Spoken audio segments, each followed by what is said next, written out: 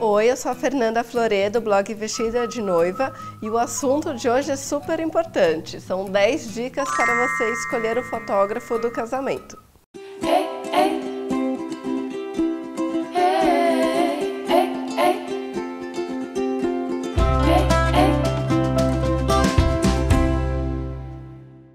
Eu disse que é importante porque depois que a festa acaba, né, o que fica para você mesmo são as imagens, a foto, o vídeo.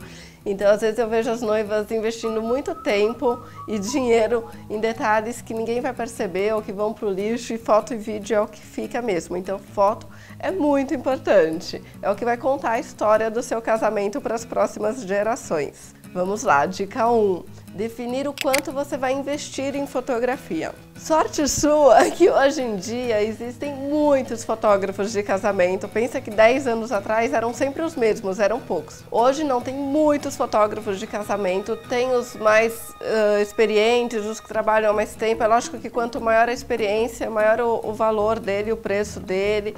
É, às vezes as pessoas acham caro o trabalho de fotografia, mas eu vou defender aqui, né? Porque parece que é só ir lá no dia e clicar é muito tenso, porque é uma, é uma ocasião que não pode errar. O fotógrafo não pode perder a foto do beijo, da, daquela piscadinha que você deu, da lágrima que, que caiu da sua mãe, da daminha que tropeçou. Então é muito tenso, são muitas horas de trabalho, são muitas horas de pé ali no casamento trabalhando. E tem todo o antes e o depois também. O antes são as reuniões com você, a preparação e tal, e o depois, o tratamento das imagens. Então tem o seu valor, valorize o trabalho do fotógrafo. É, e defina o quanto você vai gastar, porque daí você sabe para qual nível de fotógrafos você vai, pesquise, peça vários orçamentos. É fácil pedir orçamento de fotógrafo, então pode pedir vários orçamentos e daí depois você marca de visitar aqueles que estiverem dentro do seu bolso. Dica 2. Defina o estilo que você gosta de fotografia. Então, antigamente, se, antigamente, alguns anos atrás, se falava muito no estilo clássico, das fotos mais pousadas, ou no estilo do fotojornalismo, que é mais natural. Tem o documental também. Eu acho que vai muito além disso, não é só clássico ou fotojornalismo, porque a maioria dos fotógrafos fazem. Tem que ter um pouquinho de tudo no casamento. Tem que ter o fotojornalismo de captar o que está acontecendo no momento e tem que ter as fotos clássicas posadas. Mas acho que vai muito uh, além disso, assim, tratamento de foto de um fotógrafo para o outro é diferente. Alguns têm um estilo mais vintage, outros um pouco mais artístico, os outros mudam bastante a cor da foto. Isso que você tem que reparar quando for visitar, conhecer o trabalho do profissional. Dica 3. Eu adoro quando o fotógrafo registra bem os detalhes do casamento, porque as noivas, nós, a gente passa tanto tempo planejando cada detalhe, cada lacinho, cada arranjo, a comida, a bebida, que eu acho muito bacana ter esses registros. Estou falando isso porque alguns fotógrafos não gostam de fazer muitas fotos da decoração, às vezes é o assistente que faz, ou porque não é o estilo mesmo do fotógrafo né, de registrar isso. Às vezes o fotógrafo, é verdade mesmo, às vezes ele só faz a foto da decoração assim bem aberta, do salão do salão aberto e não tem aquela foto do arranjo floral é, do porta-guardanapos. Então isso é uma coisa que eu acho importante alinhar antes, tá? Já perguntar se ele faz essas fotos, se ele gosta, ver no álbum, né? Porque é óbvio que ele vai falar que faz, mas alguns fazem mais fotos dos detalhes e outros fazem menos. Alguns não gostam de fazer foto da decoração, o assistente que faz.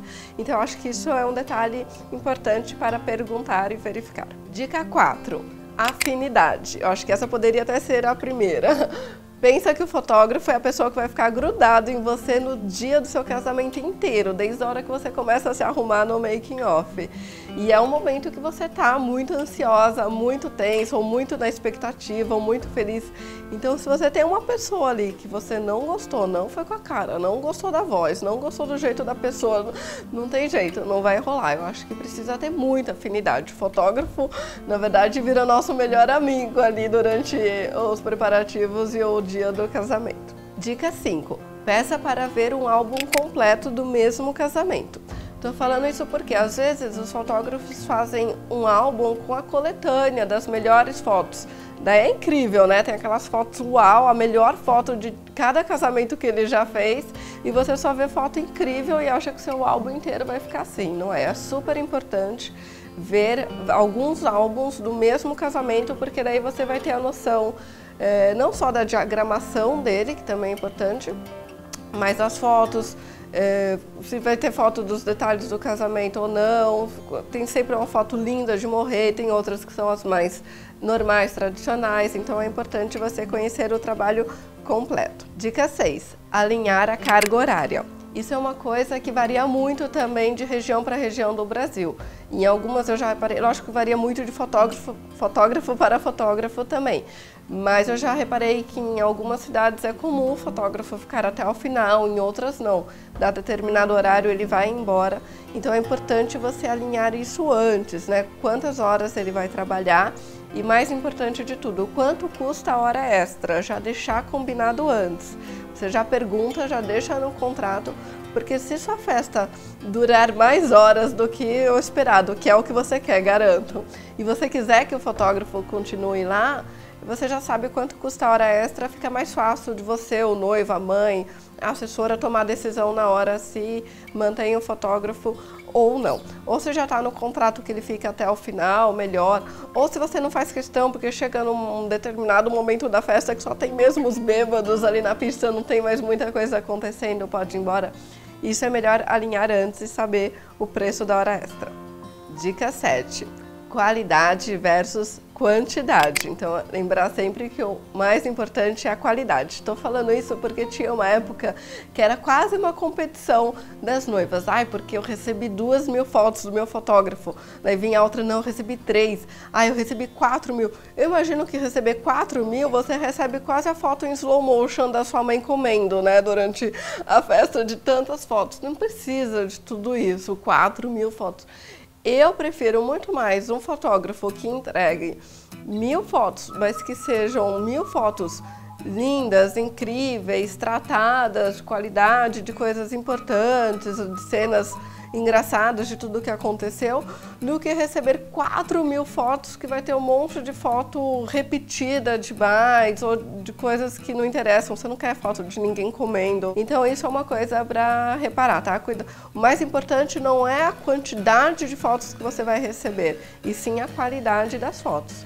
Menos fotos mas mais bem selecionadas, todas tratadas, faz toda a diferença. Dica 8. Ainda no gancho da dica anterior sobre qualidade e quantidade, vale perguntar se entrega todas as fotos, porque uma coisa que eu acho bacana fazer é entregar uma seleção de fotos, sei lá, mil, por exemplo, que são as tratadas, as mais bonitas, a seleção de todos os momentos, mas de repente entregar todo o resto, uh, mesmo que não tenha tratamento em todas, só para você ter todas e ver se não tem nenhuma realmente que sei lá, alguma pessoa que não apareceu, que pode estar ali, alguma outra que você goste. Então, sempre questionar se entrega todas as fotos ou não, se elas vão vir todas tratadas ou não, ou só uma seleção tratadas e todo o resto cru para você ter.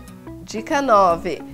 Questionar se o álbum está incluso. Hoje em dia, os fotógrafos fazem vários pacotes, na verdade, incluindo ensaio dos noivos, incluindo é, sei lá, dress tem várias opções.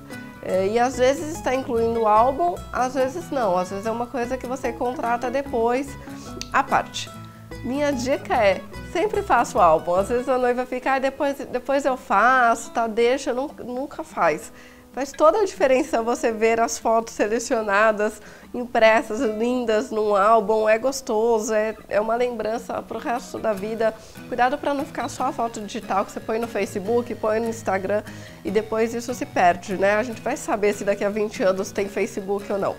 Então, é, tenha o álbum e já veja antes quanto custa, que às vezes tem um preço separado o prazo de entrega, se está incluso no pacote que você está contratando ou não. Dica 10, não esqueça de conferir tudo de importante que deve constar no contrato. Aliás, sempre lembrar tudo que você combinar verbalmente com o profissional precisa estar no contrato, senão não vale nada, tá? É, no contrato fotógrafo, sempre o nome do profissional, o nome dos assistentes, o nome, se ele já tem alguma indicação de quem vai o substituir no caso de acontecer alguma emergência, a gente nunca sabe. Vai que alguém da família uh, né, falece no dia do seu casamento, na, do, da família do fotógrafo, eu digo, vai que sofre algum acidente. quem vai o substituir, isso é importante perguntar antes. Todas as locações que vocês combinaram, então vai fazer making off no local tal, vai fazer foto é, posada no lugar X, é melhor já deixar tudo combinado também, para depois não ter surpresa, ah, eu não, não tenho deslocamento incluso tal. O traje parece bobeira, mas o traje é importante. Eu acho que o fotógrafo ele faz parte ali da festa, ele vai estar circulando na festa, precisa estar bem vestido, precisa estar com um terno, precisa estar alinhado. Eu já fui muita festa que o fotógrafo estava de calça jeans, sabe, camisa. Não pode, gente. É uma, é uma ocasião importante, especial, mesmo que o fotógrafo seja iniciante, mesmo que seja seu amigo fotografando precisa estar bem trajado de acordo com o casamento, com a ocasião os equipamentos básicos que ele costuma usar, o valor que você combinou, obviamente, o prazo de entrega, isso é muito importante. Então, qual vai ser o prazo de entrega das fotos e depois o prazo para fazer o álbum. Daí não tem surpresa para ninguém, já fica todas as expectativas alinhadas. É isso, espero que tenha ajudado. É muito importante contratar um bom fotógrafo para o casamento. Se você gostou do vídeo, não esquece de curtir, de deixar o comentário. E se você ainda não se inscreveu, se inscreve aí no canal que você fica sabendo dos vídeos antes e toda semana tem um vídeo novo. Obrigada, tchau, tchau.